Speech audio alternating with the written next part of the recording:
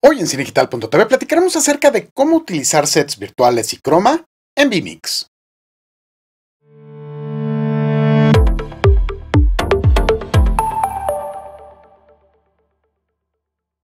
Hola, ¿qué tal? ¿Cómo están? José Luis de cinegital.tv bienvenidos al programa del día de hoy.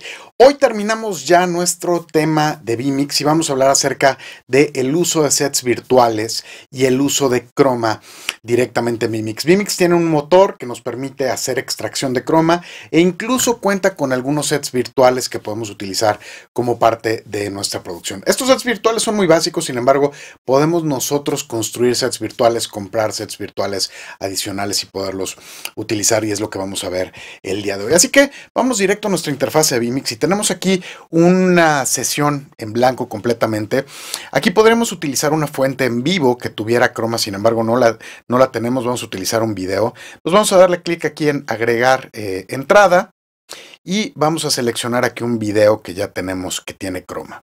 Entonces tenemos el video aquí y cómo hago para mi extracción. Lo primero es dar clic eh, en las opciones y aquí tenemos una herramienta que dice Color Key. Entonces, eh, yo aquí selecciono un color que vaya a utilizar y le pongo Chroma Key Filter y ajusto para lograr mi extracción de croma. Puedo aplicarle eh, anti-aliasing si quiero para que quede un poquito más, más suave la, pantalla, que no se noten las, las orillas tan fuertes.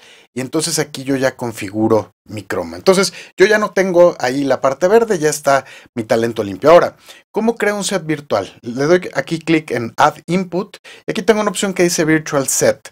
Aquí hay una serie de sets virtuales. Eh, se considera sets virtuales también estas opciones de pantalla eh, como tipo Picture in Picture, Multiviews, etc. De hecho, aquí tenemos algunos hasta para seis usuarios, en fin. Eh, en este caso vamos a utilizar uno sencillo. Seleccionamos aquí y le damos clic en OK.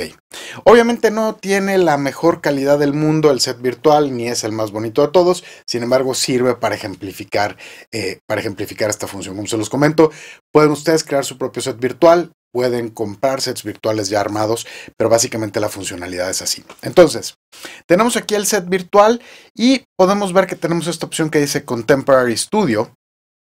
Y aquí tenemos una, eh, una opción que dice Setup. Entonces aquí tenemos dos elementos. El elemento eh, de video y el elemento de fondo. Entonces le doy clic aquí en Setup y le digo, en la parte del talento, quiero utilizar como entrada este archivo.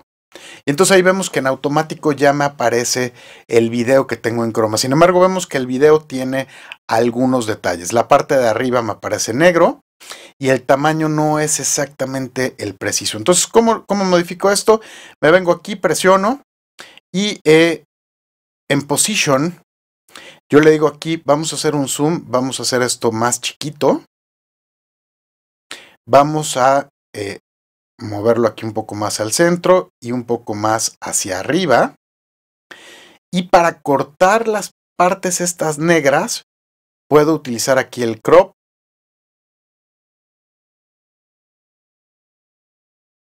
Tanto de Y como de X. Entonces ahí vemos que ya me queda, me queda limpio. Entonces aquí ya se ve un poquito más, eh, más real. Ahora, yo puedo evidentemente switchar a esto. En el momento en el que lo presiono vemos que está corriendo aquí el video y está operando sobre set virtual.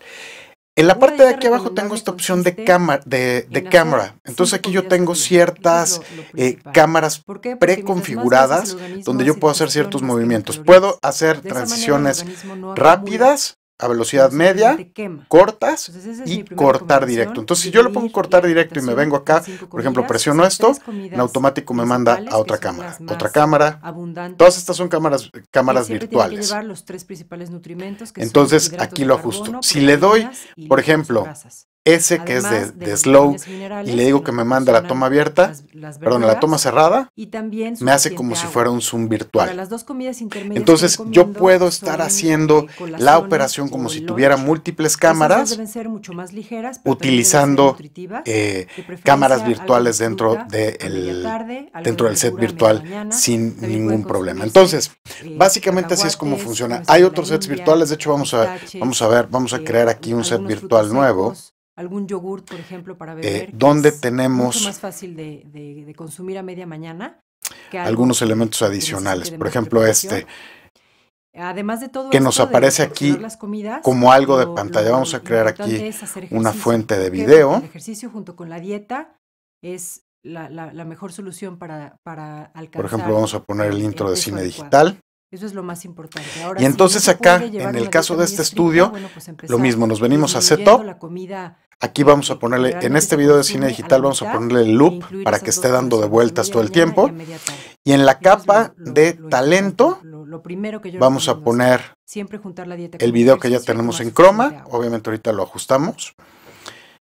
Y en, eh, en frame, vamos a ver, en fore- foreground, en screen, perdón, vamos a poner el intro de cine digital.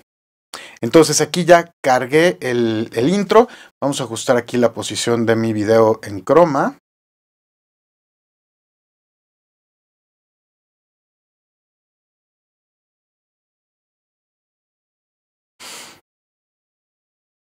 ¿Ok?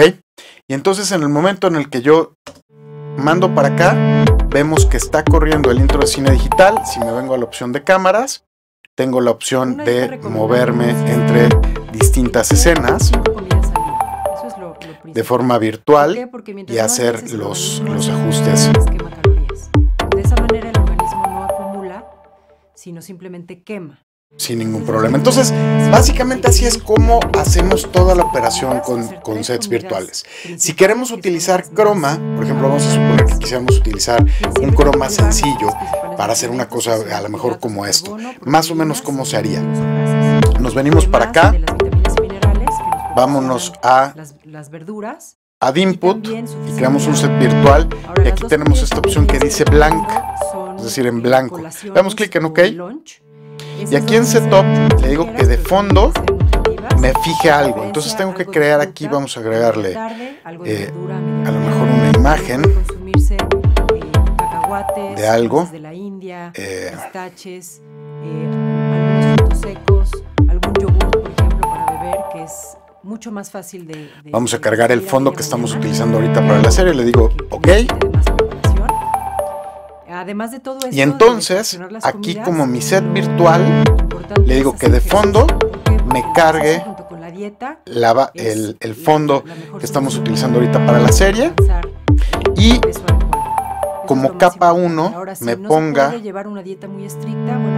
el video este. comida Entonces aquí yo ya puedo hacer la operación. Mismo procedimiento, lo que hablábamos. Vamos a hacer aquí un ajuste.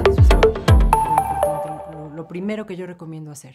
Siempre juntar la dieta con el ejercicio. Y entonces aquí tenemos ya el video en croma, utilizando el, el mismo fondo eh, que nosotros fijamos. Entonces tenemos la opción de utilizar un fondo gráfico y, eh, y poner, y poner a la persona en croma encima. Vamos a utilizar sets virtuales. En fin, nos da una serie de, de- de posibilidades para poder trabajar con croma y utilizar ya sea set virtual o utilizar un fondo normal, etcétera sin ningún problema y con una calidad bastante, eh, bastante buena, vamos a llamarles así. Recordemos que siempre el tema de croma nos puede dar ciertos detalles, sobre todo si hay mucho movimiento, en el momento en el que hay un movimiento así como lo que estoy haciendo ahorita con las manos, se pueden ver como fantasmas acá. Nosotros ahorita no estamos usando croma, esto, esto que hay aquí atrás no es croma, es una pantalla. Pero si estuviéramos usando un croma, a lo mejor con blanco no se nota, pero cuando tenemos un movimiento rápido, se llega a ver como, como fantasmitas, como, como un área, como un halo. Eso es muy común al utilizar croma, entonces hay que tener ciertas precauciones. Sin embargo, si nosotros lo queremos hacer en Vimix, Vimix nos permite trabajar con eso sin ningún problema. Pues eso es todo por hoy. Si tienen alguna duda, algún comentario, por favor visiten la página en www.cinedigital.tv y haremos todo lo posible por eh, contestar sus dudas. Pues me despido, mi nombre es José Luis Tamés y nos vemos en la siguiente de cinedigital.tv. Muchas gracias. Adiós.